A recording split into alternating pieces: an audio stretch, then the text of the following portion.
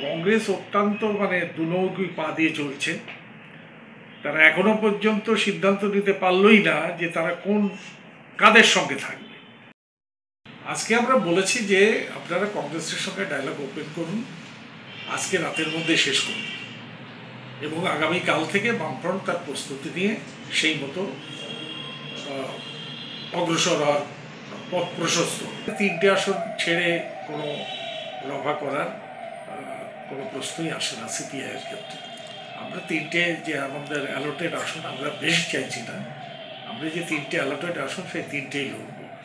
প্রকৃত অবস্থায় এটা আরএসপি তিনটে ফরওয়ার্ড ব্লক তিনটে, নটা আসন শরিক দল, আর তেত্রিশটা আসন কংগ্রেসের এই সিপিআইএম এর হাতে থাকে। এই চারটে শরিক দলই তো প্রধানত লড়ে।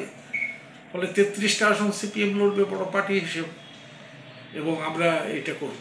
আর শেয়ার যদি করতে হয় আমরা তিনটে থেকে কি শেয়ার করব? যারা বড় শেয়ার ভোগ করছে তারাই শেয়ার করবে।